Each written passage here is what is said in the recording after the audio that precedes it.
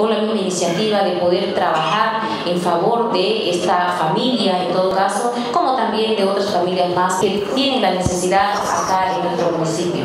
Y obviamente la, la colaboración que siempre nos da el gobierno municipal. Muchísimas gracias, señor alcalde. El 50% de los recaudados vaya para la para la señora Claudia Suárez, y el otro 50% podamos ayudar también acá a la señora María Ortuño. Lo que se quiere es incentivar a las personas a hacer ejercicio, que puedan hidratarse, y bueno, a través de Balay hacemos eso, vamos a ayudar con productos, vamos a ayudar con ejercicio, pero sobre todo también concientizar a las personas que ellos puedan vivir más saludables. Invitar a toda la sociedad de Que sean parte de este gran evento que es FinDance, donde estarán participando nuestros mejores instructores profesionales, así que gente linda de Yacuiba, les esperamos hoy día a las 7 de la noche en el Coliseo Central. Vamos a donar unos productos para que la gente al entrar igual pueda recibir sus productos sobre entraditas 20 bolivianos. El día de hoy, 19 horas 7 de la noche hasta las 22, fitness solidario y mañana a partir de las 9 de la mañana